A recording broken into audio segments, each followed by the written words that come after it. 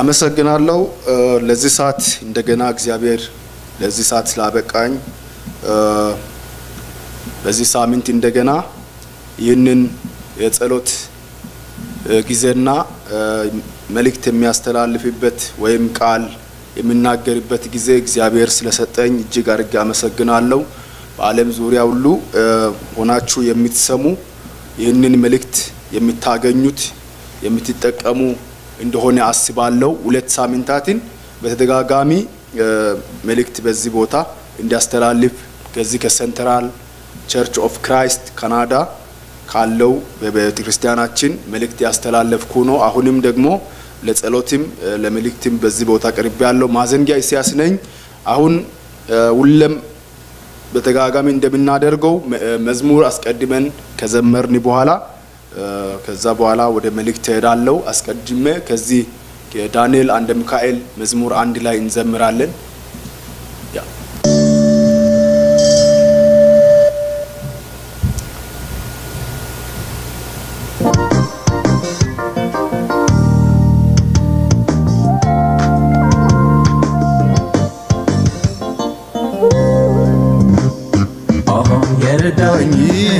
አመሰግናለሁ። መሃል ከፍ አደርገዋለሁ።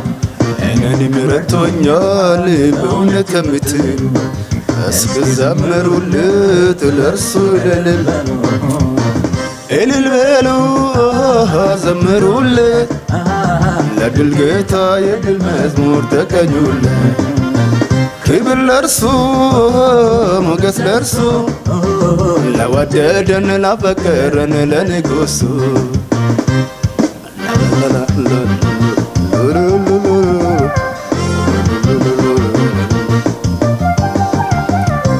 እንደኔማ ቢሆን እንደ በዛው ኃጢአቴ በፊቱ ባልተገኘ ባይራራልኝ አባቴ ምሕረቱ ለኔ በዛ ቸርነት ያረገልኝ አቤቱ መድኃኒቴ ይክበር ይመስገንልኝ ይክበር ይመስገንልኝ ይክበር ይመስገንልኝ ይክበር ይመስገንልኝ ይክበር ይመስገንልኝ ይክበር ይመስገንልኝ። ኦሆ የረዳኝን አመሰግናለሁ በጉባኤው መሃል ከፍ አደርገዋለሁ። እኔንም ረድቶኛል በእውነት የምትሉ እስክዘምሩለት ለእርሱ እልል በሉ እልል በሉ ዘምሩለት የድል ጌታ የድል መዝሙር ተቀኙለት ክብር ለእርሱ ሞገስ ለእርሱ ለወደደን ላፈቀረን ለንጉሱ።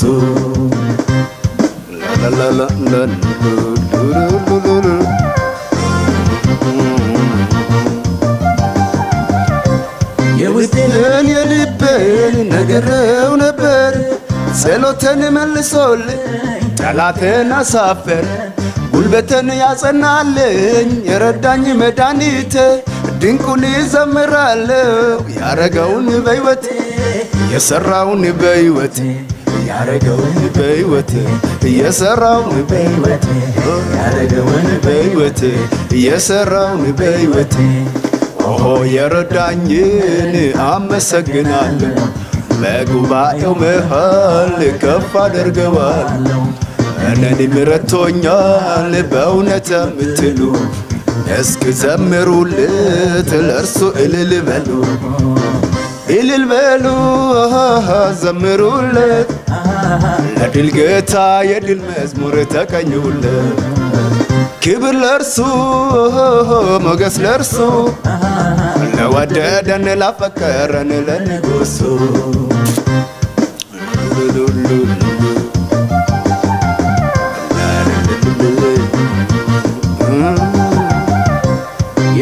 የታሰርኩበትን ገመድን በጥሶ የጠላቶችን ሰፈር መንደሩን አፈራርሶ እንደ አንበሳ ደቦል ጀግንነት ሞልቶኛል።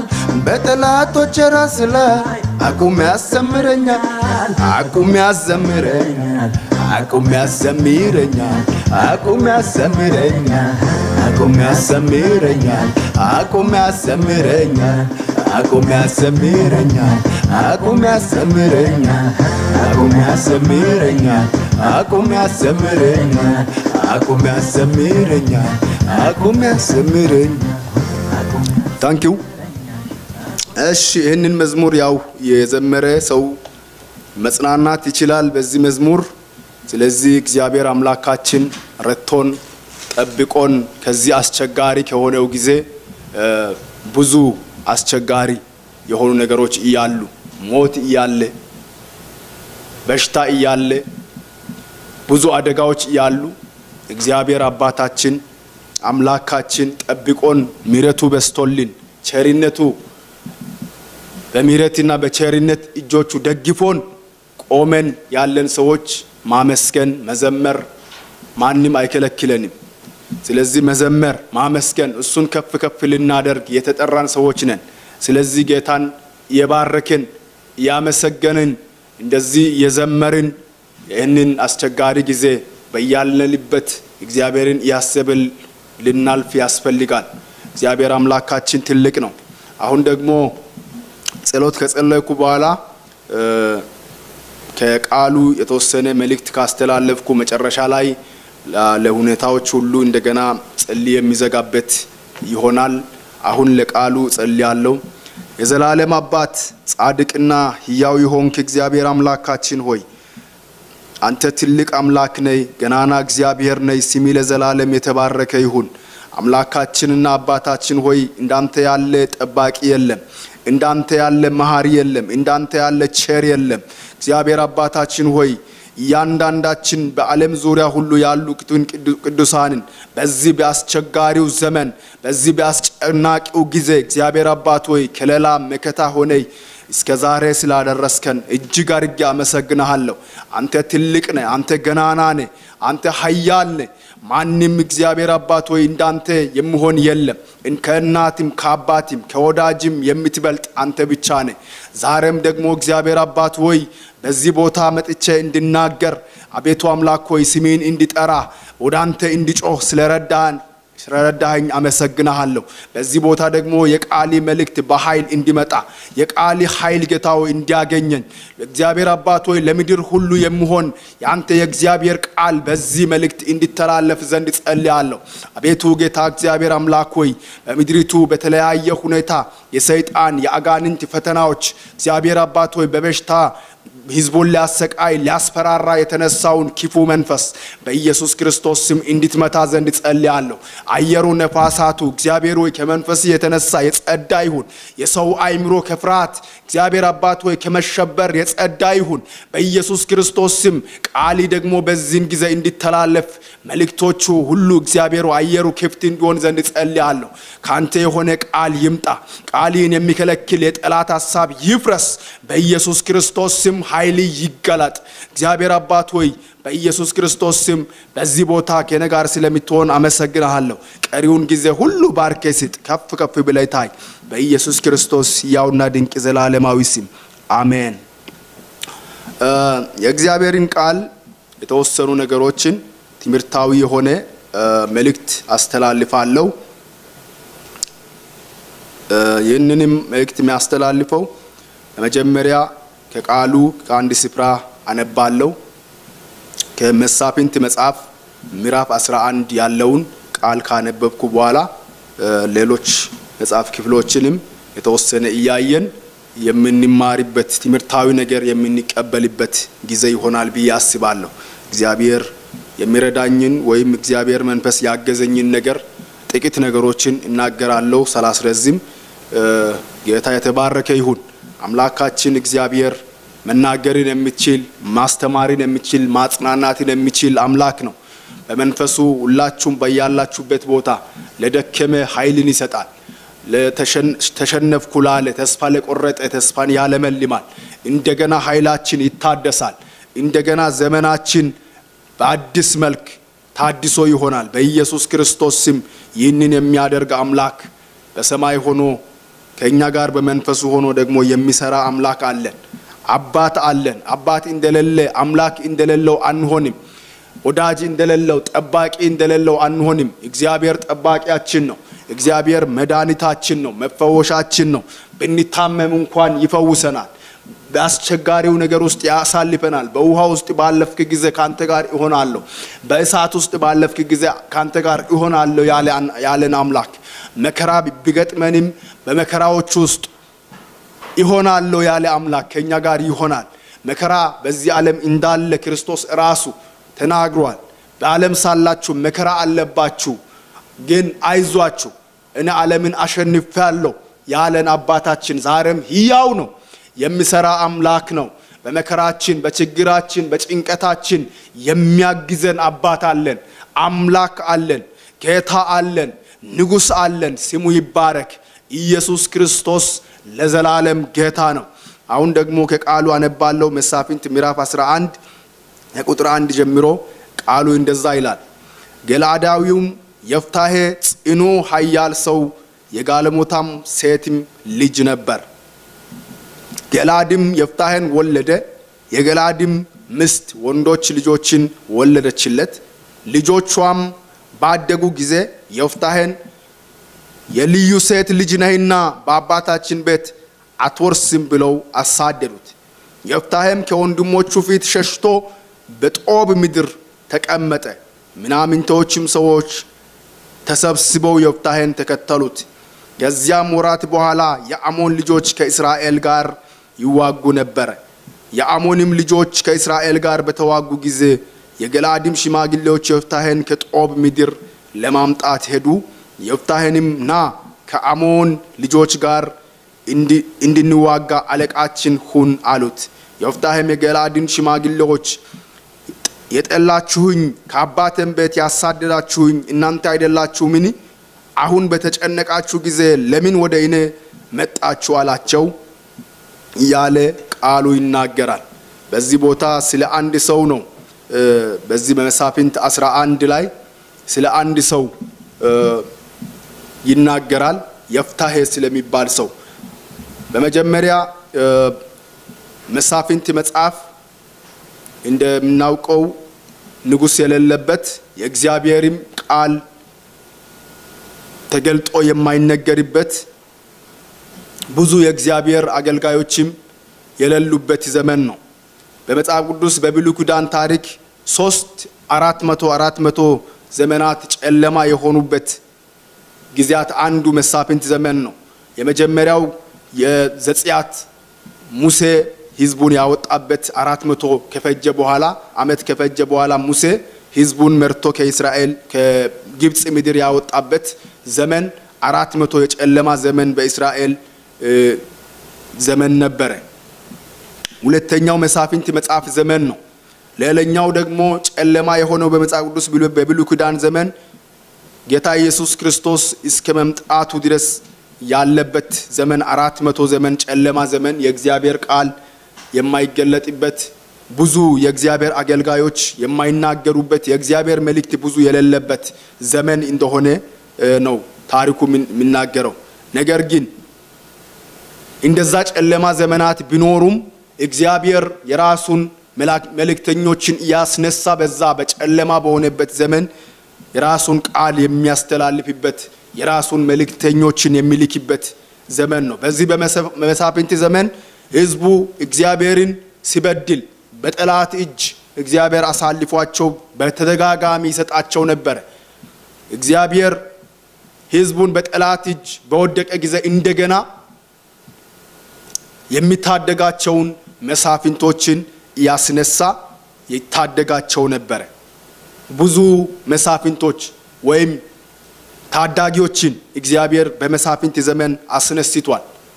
እነ ባረቅ፣ እነ የፍታሄ፣ እነ ሳምሶን፣ እነ ጌዲዮን፣ ሌሎችም ሌሎችም እነ ዲቦራም የተነሱበት ዘመን የመሳፍንት ዘመን ነው።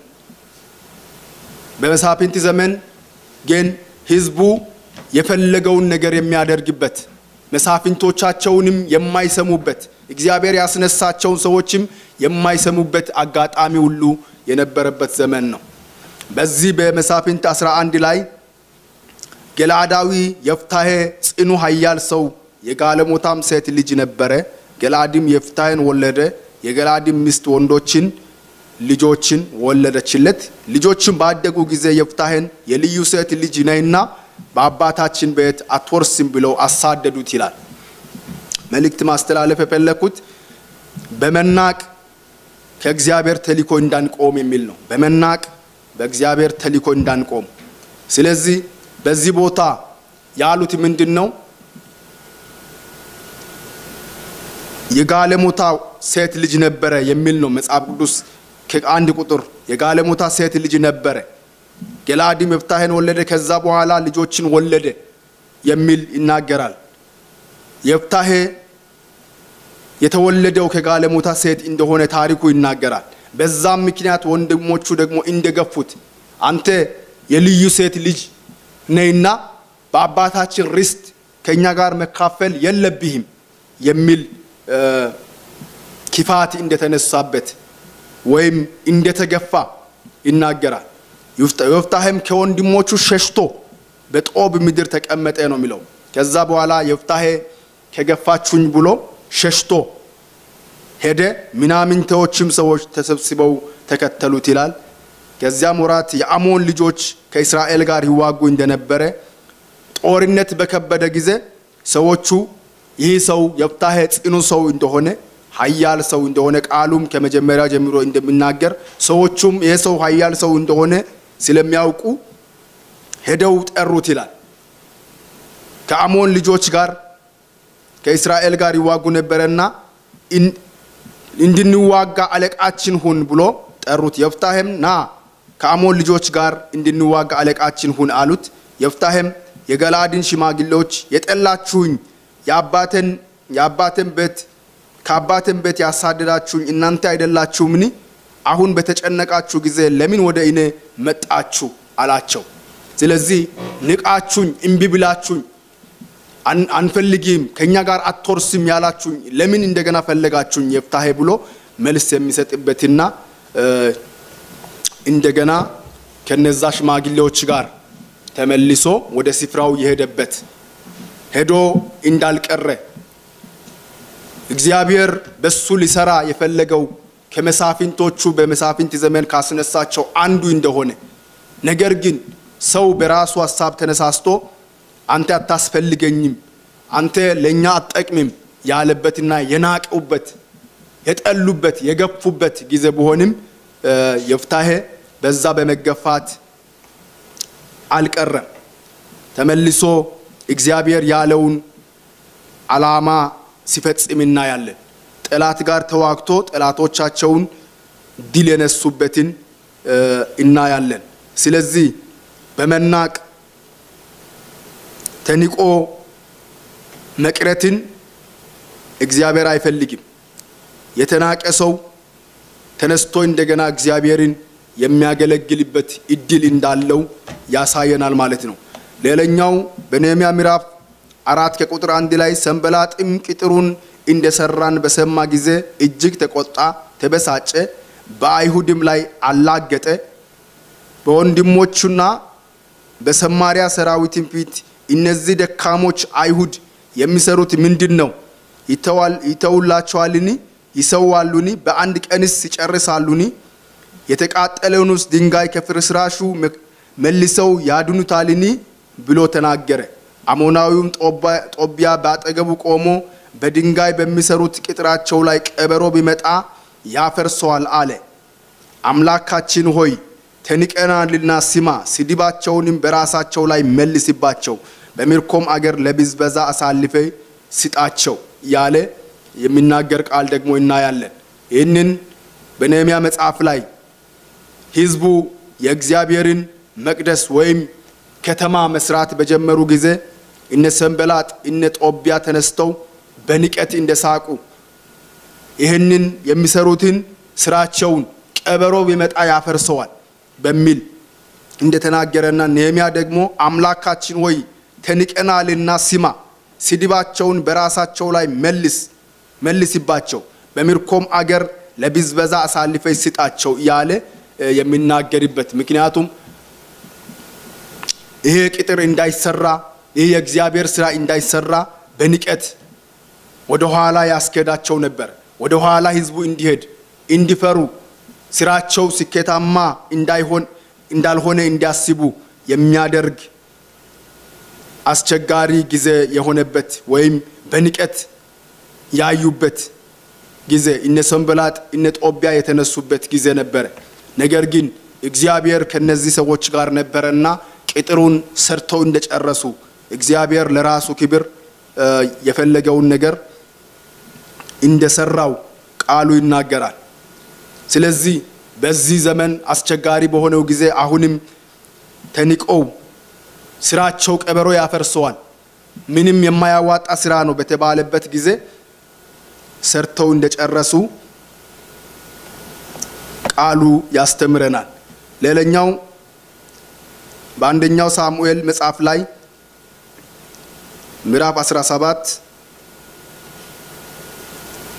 ምዕራፍ 17 ከቁጥር 28 ጀምሮ ያለውን ቃል ማየት እንችላለን። ታላቅ ወንድሙም ኤልያብ ከሰዎቹ ጋር ሲነጋገር ሰማ። የኤልያብም ቁጣ በዳዊት ላይ ነደደ። ለምን ወደዚህ ወረደ? እነዚህን ጥቂት በጎች እነዚያን እነዚያንስ ጥቂት በጎች በምድረ በዳ ለማን ተውያቸው ተዋቸው? እኔ ኩራትን የልብንም ክፋት አውቃለሁና ሰልፍን ለማየት መጥተሃል አለው። ይህ ቦታ ደግሞ የዳዊት ወንድም በጦር የሰለጠኑ ወይም ጥሩ በዛ ዘመን አቅም ያላቸው የሚባሉ ዳዊትን ታናሽ ወንድሙን የሚንቅበት ለምን ወደዚህ መጣይ? ወደ ጦር ሰፈር ምን ፈልጌ መጣይ እያለ የሚናገርበት ወይም የሚንቅበት አንተ በዚህ ቦታ አታስፈልግም የሚልበት ቦታ እናያለን። ታላቅ ወንድሙ ኤልያብ የተባለው ከሰዎቹ ጋር ሲነጋገር ሰማና የኤልያብን ቁጣ በዳዊት ላይ ነደደ። ለምን ወደዚህ ወረደ? እነዚያን ጥቂት በጎች በምድረ በዳ ለማን ተውያቸው? እያለ ይናገራል። በግ ጠባቂ እንደሆነ የዳዊትን ታሪክ እናውቃለን። በጎችን መጠበቅ ትተይ ወደዚህ ለምን መጣይ? እያለ እግዚአብሔር በሱ ሊሰራ ያለውን ነገር ሳያውቅ እንደ ምናምንተ ወይም እንደ ማይረባ ሰው ቆጥሮት የሚናገርበት ቦታ እናያለን። እንደገና ከቁጥር 42 ላይ ጎልያድ ጎልያድም ዳዊትን ትኩር ብሎ አየው፣ ቀይ ብላቴና መልኩም ያማረ ነበረ፣ ናቀው ይላል። ናቀው። ፍልስጥኤማዊውም ዳዊትን በትር ይዘህ የምትመጣብኝ እኔ ውሻ ነኝን? አለው። ፍልስጥኤማዊውም በአምላኮቹም ስም ዳዊትን ረገመው። ፍልስጥኤማዊውም ዳዊትን ወደ እኔ ና ስጋይን ለሰማይ ወፎችና ለምድር አራዊት ይሰጣለሁ አለው። ዳዊትም ፍልስጥኤማውያኑም አለው አንተ ሰይፍና ጦር ጭረም ይዘይ ትመጣብኛለህ፣ እኔ ግን ዛሬ በተገዳደሬው በእስራኤል ጭፍሮች አምላክ ስም በሰራዊት ጌታ በእግዚአብሔር ስም ይመጣብሃለሁ እንዳለ ጎልያድም ትኩር ብሎ አየው። ቀይ ብላቴና መልኩም ያማረ ነበረና ነበረና ናቀው ይላል። ጎልያድም እንደገና ዳዊትን ሲያይ እንደናቀ ይህንን ሁሉ ሰው ከንጉሥ ጀምሮ አስፈራርቼ አንተ ደግሞ ምንም ትንሽ የሆንክ ሰው ምን ልታደርግ ነው የምትቀርበው? ምን ምን ታመጣብኛለህ? እኔ የሰለጠንኩ ነኝ፣ ብረት ለበስ ነኝ ብሎ ዳዊትን አይቶ ጎልያድ የራሱ እንደናቀ እናያለን። በንቀት እንዳወራ በንቀት እንደተናገረው ወደ እኔና ስጋዬን ለሰማይ ወፎች ለምድር አራዊት ይሰጣለሁ አለው ይላል። ወደ እኔ ናና ይገል ያለው ስጋይን ለምድር አራዊት ለሰማይ ወፎችም ሰጣለሁ የሚል በዳዊት ላይ እንደተናገረ ከእሱ ጋር ያለውን እግዚአብሔርን የእግዚአብሔርን ኃይል አያይም። የእሱን ሰውነት ትንሽነት፣ አቅም ትንሽነት፣ ያልሰለጠነ ጦር ሜዳ ያልገባ ሰው መሆኑን ብቻ የሚያይና የሚናገር ነበረ። እግዚአብሔር ግን በዚያ በንቀት ውስጥ ሆኖ ዳዊት እንዳይቀር እሱን እንደረዳው በአንዲት ጠጠር ጎልያድን እንደ ጣለ ቃሉ እንደሚናገር እናያለን ከቃሉ።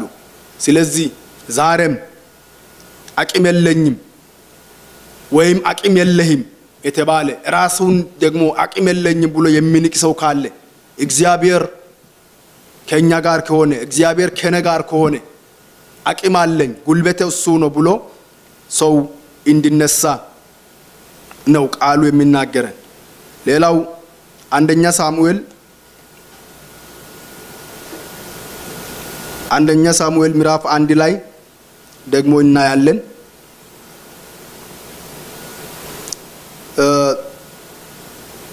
ጸሎቷንም በእግዚአብሔር ፊት ባበዛች ጊዜ ኤሊ አፏን ይመለከት ነበረ ይላል። ምዕራፍ አንድ ከቁጥር 12 ላይ ጸሎቷን በእግዚአብሔር ፊት ባበዛች ጊዜ ኤሊ አፏን ይመለከታት ነበረ። ሐናም በልቧ ትናገር ነበር፣ ድምጿንም ሳይሰማ ድምጿም ሳይሰማ ከንፈሯን ታንቀሳቅስ ነበረ። ኤሊም እንደሰከረች ቆጠራት። ኤሊም ስካርሽ እስከ መች ነው?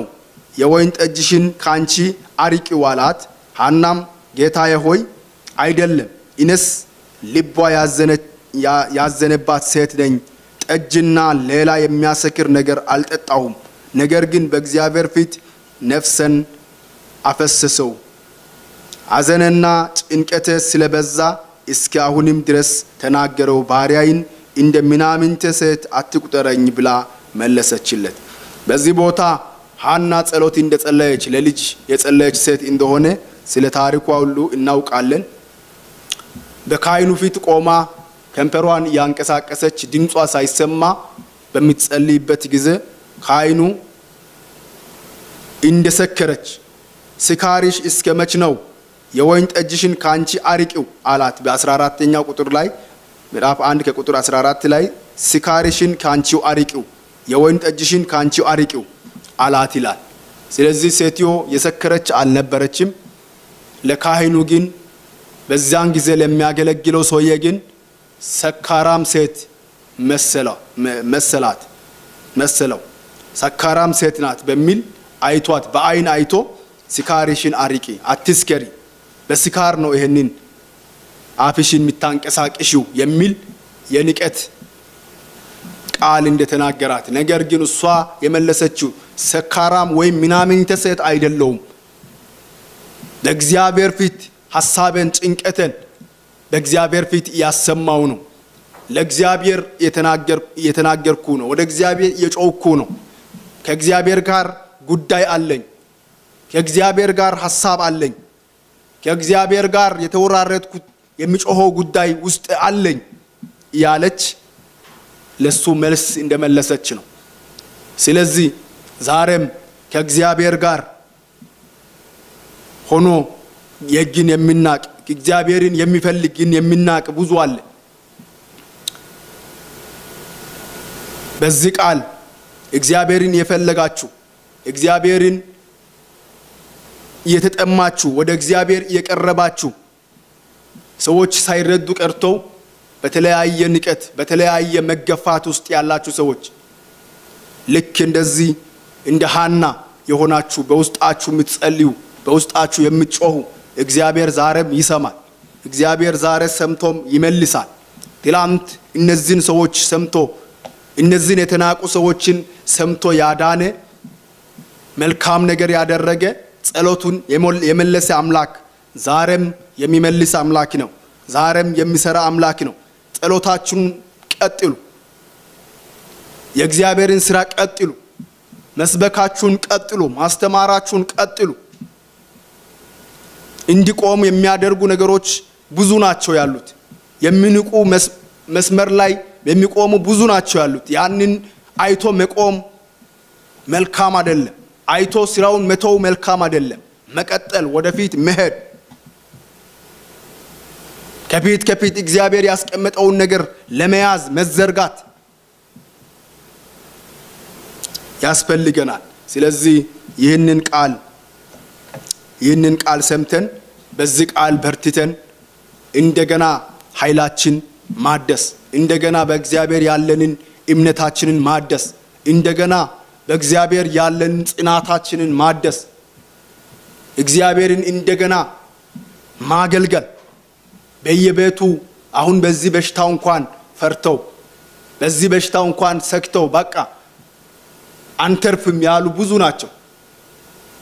በተለያየ ሁኔታ የተናቁ በቃ የእናንተ ጉዳይ ብሎ ጠላት ሰይጣን የናቃቸው የአንተ ነገር አበቃ ያላቸው ከዚህ በኋላ መነሳት አትችልም የተባሉ ብዙዎች እንዳሉ አውቃለሁ።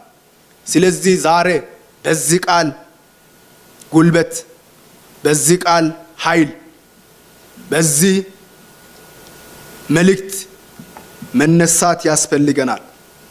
መነሳት እንደገና እግዚአብሔርን ለማገልገል እንደገና የእግዚአብሔርን ስራ ለመስራት መነሳት ያስፈልገናል።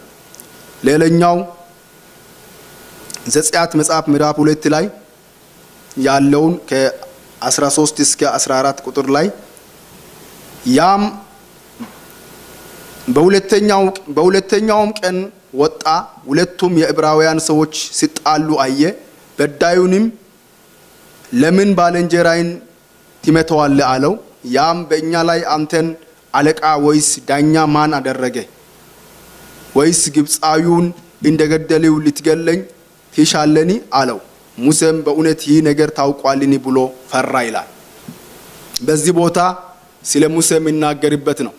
ሙሴ እግዚአብሔር ወንድሞቹን ወይም እስራኤላውያንን ከግብፅ ምድር እንዲያወጣ እንዳዘዘው በውስጡ የተቀመጠ ነገር ነበረና ከወጣ በኋላ የግብፃዊውን ሰው ከፈርዖን ከቤተ መንግስት ወጥቶ ግብፃዊውን ሰው እስራኤላውያንን ሰው ሲበድል እንደገደለ እናውቃለን ታሪኩን።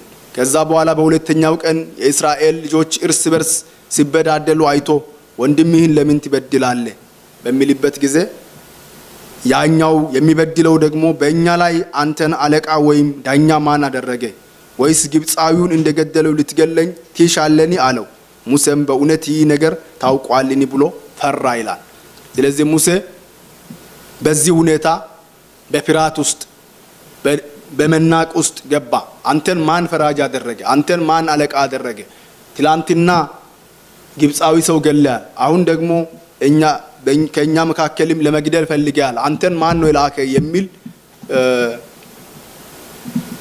በሱ ላይ በወንድሞቹ ከወንድሞቹ የተነሳበትን ጉዳይ እናያለን። በዚህ ምክንያት ሙሴ ሸሽቶ ወደ ምድረ በዳ እንደሄደ በዚህ ምክንያት ይህ ነገር ታወቀብኝ ብሎ ሸሽቶ ወደ ምድረ በዳ ለአርባ ዓመት እንደሄደ እግዚአብሔር ከዛም ደግሞ እንደመለሰው ነው ቃሉ የሚናገረው።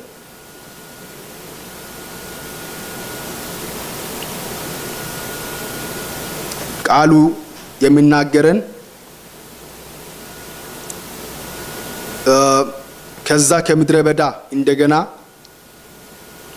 እንደገና ሙሴን እግዚአብሔር እንደመለሰው ሹምና ፈራጅ ማን አደረገ ብሎ በተናገሩት ላይ እንደገና ሾሞ እግዚአብሔር ሂድ ሕዝብን አወጣለሁ በአንተ እግዚአብሔር እኔ ይጠቀማለሁ ብሎ እግዚአብሔር እንደተናገረው በቁጥቋጦ እሳት እንደተናገረው ከዛ በኋላ ወደ ግብፅ ተመልሶ ሕዝቡን ያወጣበት በዛ ተንቆ በሄደበት ቦታ እንዳልቀረ ተመልሶ እግዚአብሔር ያዘጋጀለትን ስራ እንደሰራ ቃሉ ይናገረናል። ስለዚህ ዛሬም ቢሆን ዛሬም ቢሆን በተለያየ ሁኔታ ተንቆ የሚቀር እንደሌለ በማግስቱም እርስ በርሳቸው ሲጣሉ አገኛቸው። ሊያስታርቃቸው ወዶ ሰዎች ሆይ ሰዎች ሆይ እናንተ ወንድማማች ናችሁ፣ ስለምን እርስ በርሳችሁ ትበዳደላላችሁ? አላቸው። ያን ባልንጀራውን የሚበድል ግን አንተ በእኛ ላይ ሹምና ፈራጅ እንድትሆን የሾመ ማን ነው? ወይስ ትላንትና የግብፅን ሰው እንደገደለው ልትገለኝ ትወዳለኒ? ብሎ ገፋው ይላል። እንደገና በሐዋርያ ስራ በሰባት 26 እስከ 28 ላይም እንደገና ይህንን ቃል ደግሞ ይናገራል። የእግዚአብሔር ቃል በዛ አይነት ዘመን በአስቸጋሪው ዘመን የሚጠቀምባቸውን ሰዎች እግዚአብሔር እንደተጠቀመ የራሱን ስራ እንደሰራ ተንቆ ሰው እንዳይቀር ተንቆ የእግዚአብሔርን መልእክት ሳያስተላልፍ እንዳይቀር የእግዚአብሔር ቃል ይመክረናል። በዚህ ቃል ብርታት ሁላችንም የምንቆምበት፣ በዚህ ቃል ሀሳብ ሁላችንም ቆመን እግዚአብሔርን የምናገለግልበት በቀጣይ ዘመን እግዚአብሔር ጊዜ እንደሚሰጠን አምናለሁ። አሁን ደግሞ በመጨረሻ ጸሎት ከጸለይኩ በኋላ መልእክተን ይዘጋለሁ። የዘላለም አባት እግዚአብሔር አምላካችን ሆይ እናመሰግንሃለን። ክብር ምስጋና ለአንተ ይሁን። በዚህ ጌታ እግዚአብሔር አባት ሆይ ብዙ አስቸጋሪ በሆነበት። ጌታ እግዚአብሔር አባት ሆይ ጠላት በንቀት የሚጥልበት። ጠላት እግዚአብሔር አባት ሆይ በማስፈራራት የሚጥልበት። በተለያየ በበሽታ ሀሳብ በሚጥልበት ጊዜ ያንተን የእግዚአብሔርን ሀሳብ የቃሌን መልእክት ይዞ የሚነሱ በየጓዳው ያሉ ሰዎች እንዳሉ እናምናለን። እግዚአብሔር አባትና አምላክ ሆይ በዚህ መልእክት በዚህ ሀሳብ እግዚአብሔር አባት ሆይ ብዙዎችን እንደምታበረታታ ብዙዎችን እንደምታጠነክር ብዙዎችን እግዚአብሔር አባት ሆይ እንደገና ኃይላቸውን እንደምታድስ አምናለሁ። የዘላለም አባት እግዚአብሔር አምላክ ሆይ በዚህ ቦታ አይነንም እንዲጸልይ ቃሌን እንዲያስተላልፍ ስለረዳ እጅግ አድርጌ አመሰግናለሁ።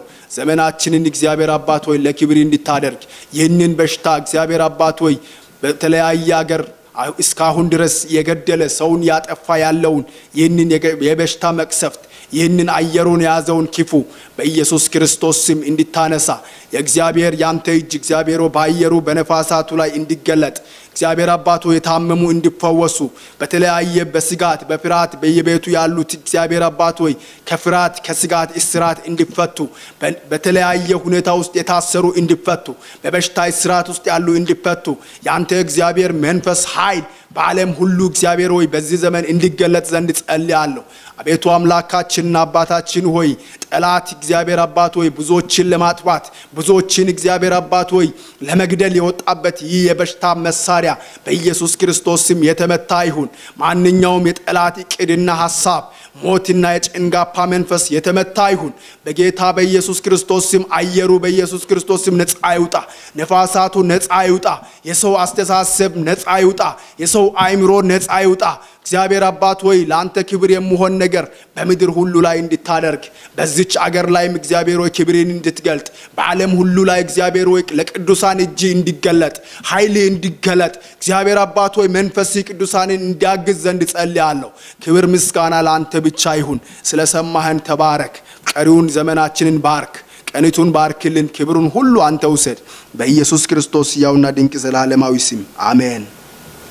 God bless you thank